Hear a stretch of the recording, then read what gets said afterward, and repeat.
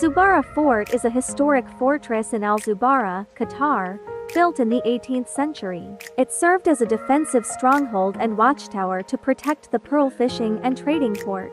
The fort features traditional Qatari architecture, with thick walls and towers. It has been restored and turned into a museum showcasing Qatar's maritime history and archaeological artifacts. Zubara Fort is a UNESCO World Heritage Site and a popular attraction for visitors interested in Qatar's history and culture.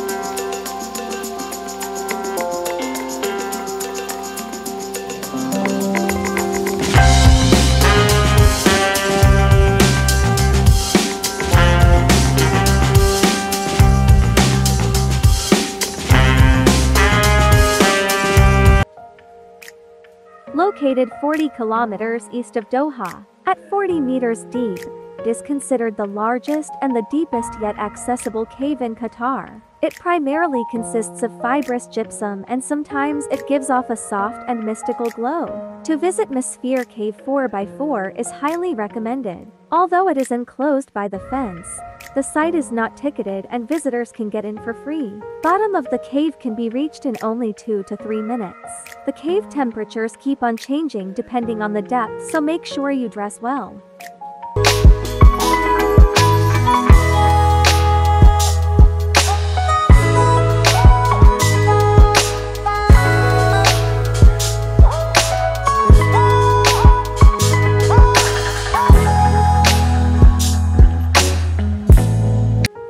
Dukhan Beach is one of the most popular beaches in Qatar. Located 80 kilometers from Doha this beach attracts people not only for swimming but for playing sports mainly football, singing, dancing and other activities. Be aware that during the weekends and festivals it might be super crowded.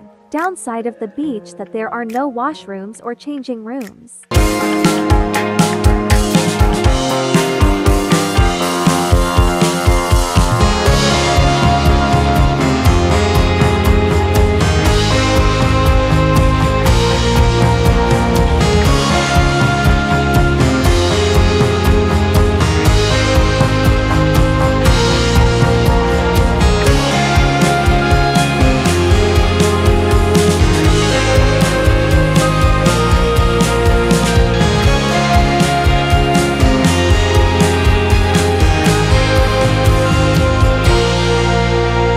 Just few kilometers away from Zubara Fort you will find installations called Shadows traveling on the sea of the day created by Olafur Eliasson. Olafur Eliasson is a Danish-Icelandic artist known for his immersive installations that combine nature, light, and architecture. His works engage the viewer and often incorporate natural elements like water and air. Eliasson's installations challenge perception and reality, playing with illusions and reflections. This artwork consists of 20 round shelters placed in the desert. They might look randomly scattered, but they are actually arranged in a special pattern. The roofs of the shelters have mirrors on the inside that reflect the curved pipes holding them up. This makes it seem like the pipes are forming complete rings. When people stand under the shelters, they might feel a bit confused because they can see themselves and their surroundings reflected upside down in the roofs. Located near Al Khor City, approximately an hour's drive from Doha,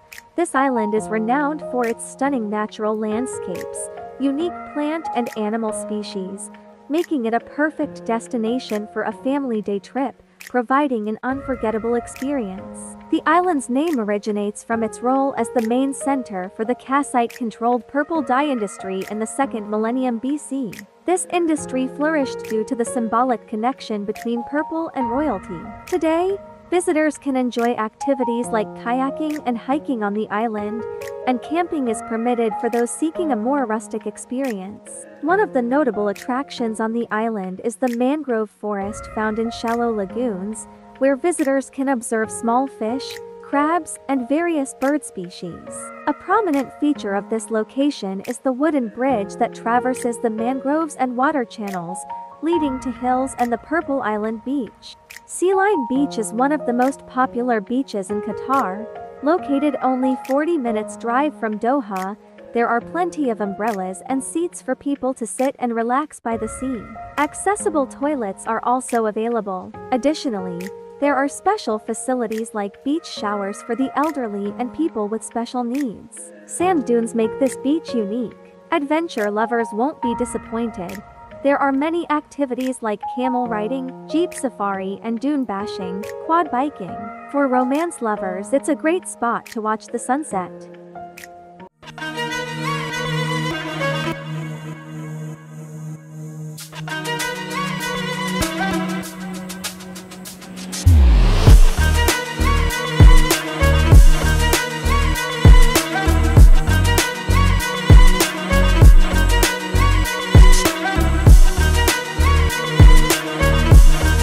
Located in the western part of Qatar, in the desert at Zekreet Peninsula, this installation is called East West West East created by Richard Serra.